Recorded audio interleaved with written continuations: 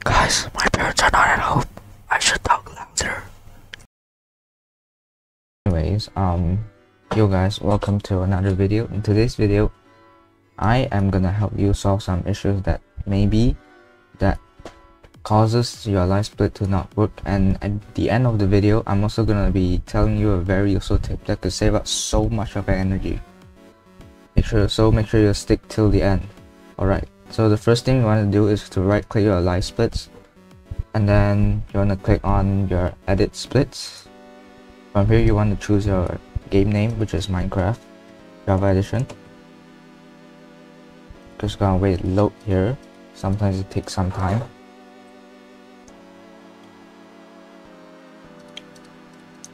My god dude. Holy shit. It's so slow right here comes choose Minecraft java edition and then choose which category you're running. I'm running any percent glitchless so i'll choose that. And then next thing you should see in-game time is available down here and then you want to press settings. Mainly you want to um, activate it first and then you want to change save location. So if you don't know um, Minecraft Java Edition speedrunning is time with in-game time. So if your in-game time is not working that means that um, maybe the mods are gonna like oh this guy he doesn't have in-game time and your run may took longer to get verified or some shit.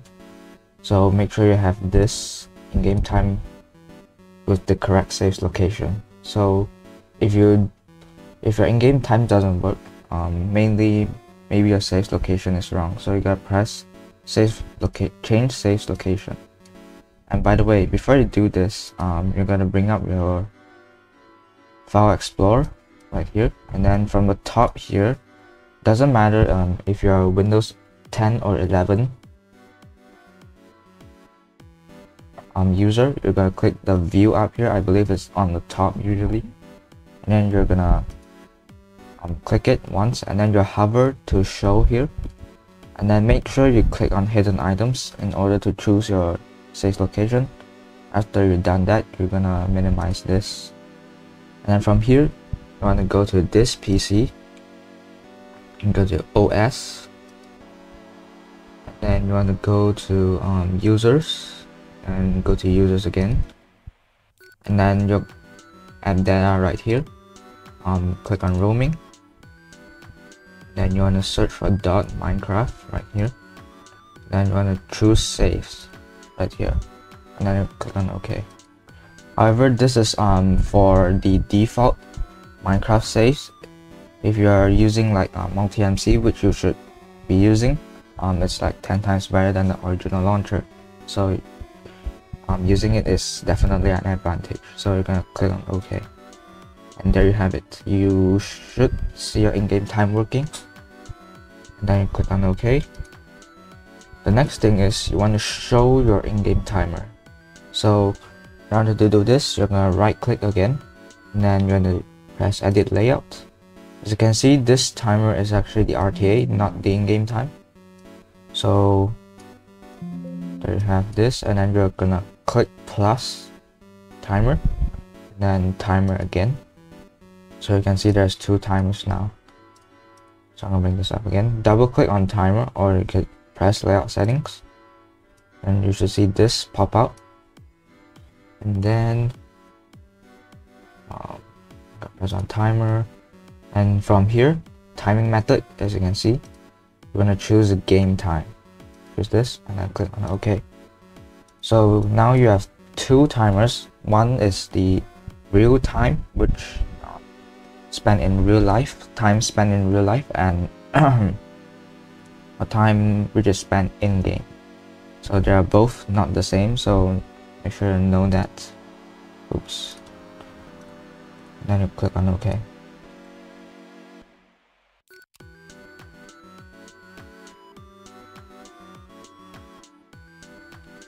so now is the very um, time saving or energy saving tip um, you're just gonna right click and then click on edit splits again from here. You click on settings from here and then enable auto splitter.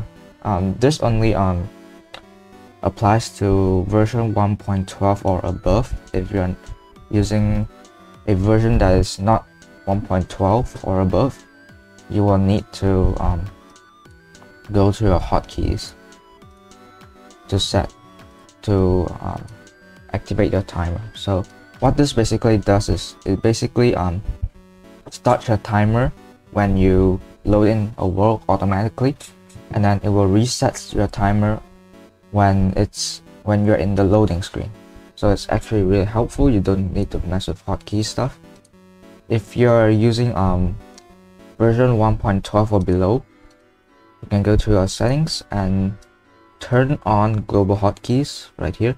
And then these stuff are pretty self-explanatory. I don't really need to um, explain all these. It's really easy to understand. And then you're gonna press OK. And that's basically it. And yeah. That will do it for today's video. And if you like today's video make sure to hit the like and subscribe to my channel. It really helps out a lot and make sure to watch my how to set up multi-MC video. And peace out guys